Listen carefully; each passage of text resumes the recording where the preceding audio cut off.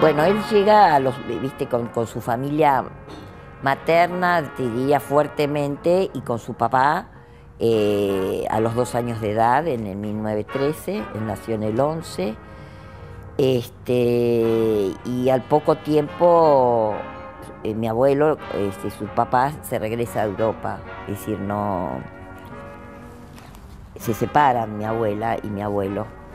Y así que él se crió un poco con la familia materna, casi exclusivamente, que son estas familias que llegan de la inmigración, eh, muy numerosa, de, muchos hermanos.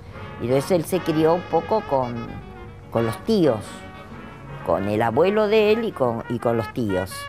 Y dentro de, los tíos, particularmente con Planas Casas, que sí tenía una formación este, en la pintura y con el que empieza eh, a, ser grabador. Vivíamos en un departamento que no, era muy grande, éramos cuatro hermanos, o sea que era una familia que en esa época era más o menos tradicional por la cantidad de hijos, después por ahí eso cambió, pero este era una casa, como yo te comentaba, con muchísimas bibliotecas y libros.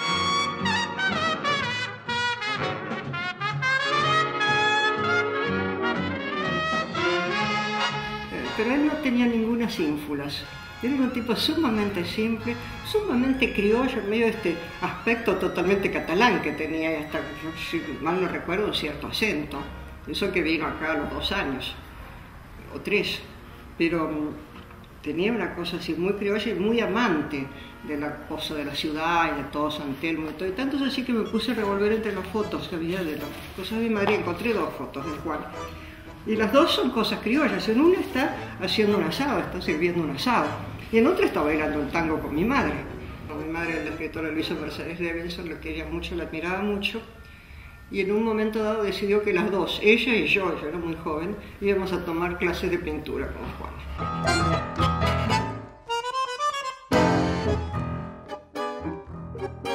También te, dice que, es que fue de la academia, cuando vos de, la academia de Racing, para aclarar, digo, pero eh, le gustaba el tango, ¿viste? En ese sentido te digo que era de, barrio, le gustaba bailar el tango, le gustaba este, estar la amistad, o sea, generaba un grupo, por ahí yo te diría. Es decir, él generaba un clima alrededor de él.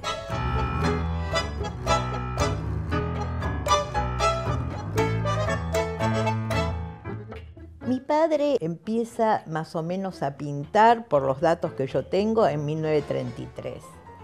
Eh, y por los escritos de él y los reportajes que le hacen, es en el 35 que adopta la escritura surrealista. Y yo lo conocí alrededor del 50. Yo eh, tenía en ese momento 20 años, yo nací en el 30. Bueno, lo conocí en exposiciones y me vinculé rápidamente con él. Ya tenía un nombre, él ya era un, pintor reconocido. No tenía una gran, gran fama, pero era un hombre ya conocido y respetado.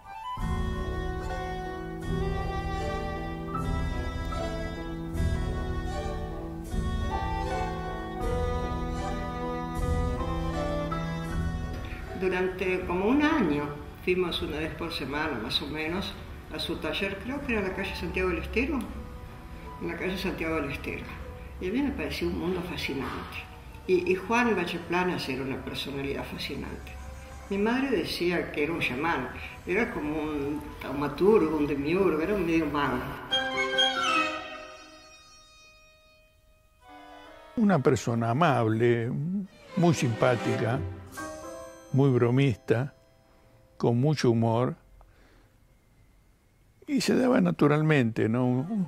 Una relación muy, muy directa con él, ¿no? Por supuesto, con la gente con, que compartía sus ideas también, ¿no? Y, y, su idea sobre el surrealismo y sobre el automatismo, ¿no?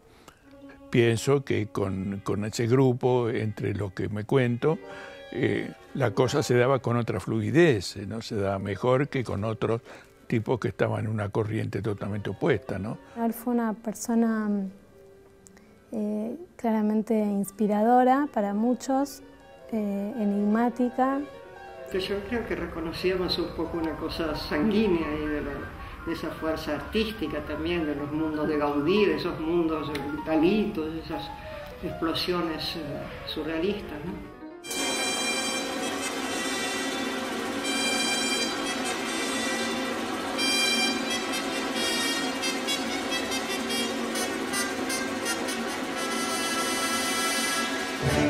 Una de las cosas que hacíamos con con papá y mamá era caminar, porque en esa época la gente caminaba más que ahora, ahora más más en auto, pero era como una salida irse a caminar. Y recorría galerías y bueno, y yo lo veía siempre. la recorrida terminaba en un bar por lo, por lo común. El, el bar era el Jockey Club que estaba en Florida y Viamonte, en la esquina. A veces íbamos al bar, pero antes de ir al bar íbamos a, librerías, o sea, eh, una era Galatea, que también fue una galería de arte, y papá compraba estos libros de arte y otros libros también franceses y encargaba otros tantos libros. Llegábamos y estaba Alberto Girri, Enrique Molina, Juan Jacobo Bajarlía, alguna vez Mallea, González Lanusa. A veces se armaba una, una mesa larga, a veces era nada más que uno, que uno se acercaba y, se saludaban y charlaban.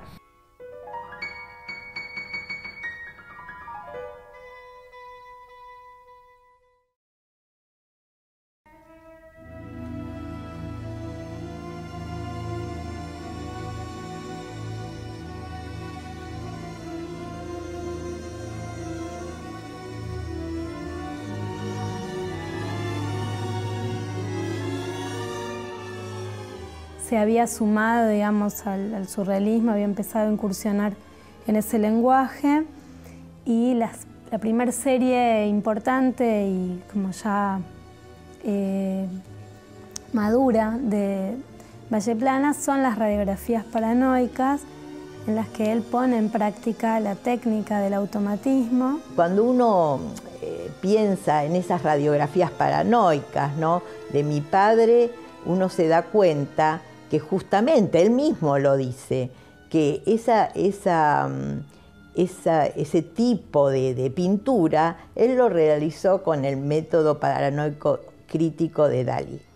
Era eh, interesante eh, eh, observarlo como él realizaba esta escritura y cómo la transmitía a sus alumnos. Él trataba de que buscaras los puntos de fuerza de energía en la tela y que los fueras uniendo, como viendo los puntos, pero los puntos los tenías que descubrir en la tela, en la tela en blanco.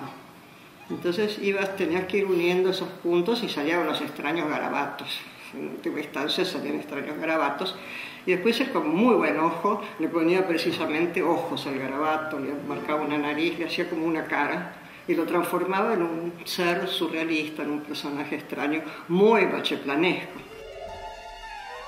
Y el automatismo es trabajar sin ideas preconcebidas. No hay una idea que genere la obra, sino que uno empieza a trabajar, dibujar o pintar y uno no tiene idea, ¿no? De qué, de cuál va a ser el resultado ni cuál va a ser la imagen, ¿no? Que va a plasmar en su trabajo, dibujo, pintura o lo que fuere. Pero a mí me parece que le pasa algo inevitable, que era la figura era el canon todo lo demás giraba alrededor de la figura, digamos, ¿no? Todo. Todo. Aún las abstracciones que pueden aparecer en los cuadros o los elementos de puro lenguaje están proporcionados y, em, establecidos en, en, proporción interna y en categoría semántica a la figura. La figura siempre es mandataria.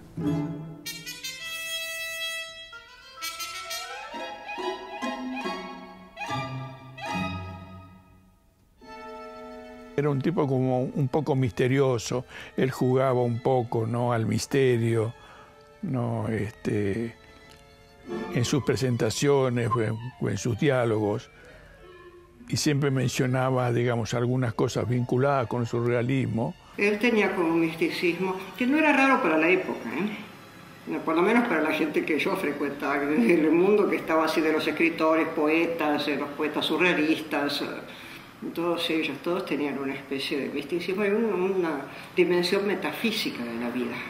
Sí, era un místico, digamos,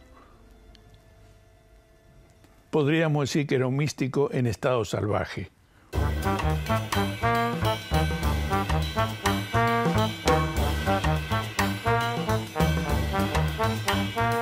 Batrevano no tenía una gestualidad hiper, hiper, desarrollada, más bien eran como, como boceto de monumentalidad en esas figuras y una especie de masividad a partir de la línea. ¿no? Yo creo que era un ser que habitaba las fronteras también en el arte, ¿no?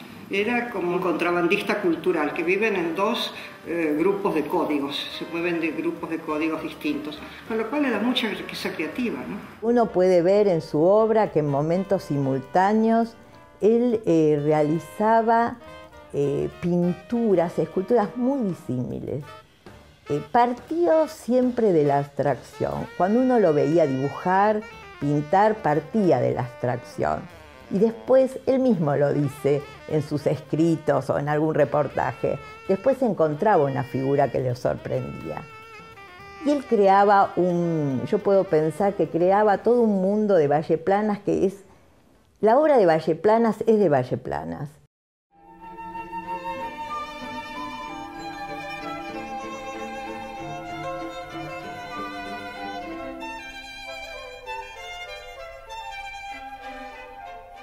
más bien los domingos en la mesa familiar, que era una mesa muy activa, donde hacíamos los deberos, mi mamá por ahí cortaba este, una tela para hacer un vestido y, mientras también por ahí se escuchaba un partido de fútbol, papá recortaba estos, estas, hacía estos recortes y los pegaba.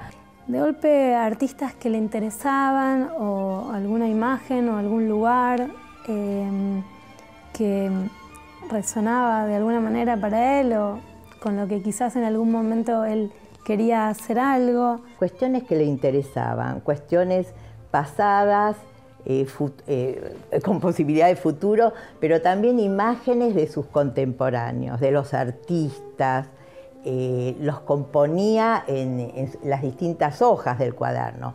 Para también estudiar el movimiento, cómo se, cómo se recortaba una figura en el paisaje o Pensá que él fue autodidacta, o sea, fue alguien que no estudió Bellas Artes, aprendió de su, tío Planas Casas, digamos, que fue quien, como un maestro, ¿no? Entonces, eh, cuando empezó siendo grabador, pero después él, digamos, yo creo que con todas estas cuestiones eh, iba estudiando y se iba formando, ¿no?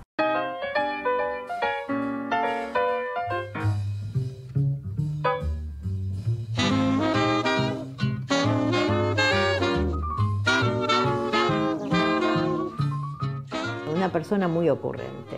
Entonces había carnaval, entonces nos hacía tres máscaras y salíamos al carnaval. O sea, tenía esas ocurrencias que creo que nos transmitió para quien quisiera tomarla eh, todo un aspecto creativo de lo más interesante.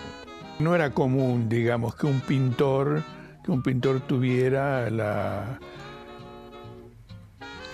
la originalidad ¿no? y la, la sensibilidad y, la inteligencia que él, que él tenía. Realmente era un tipo brillante, ¿no?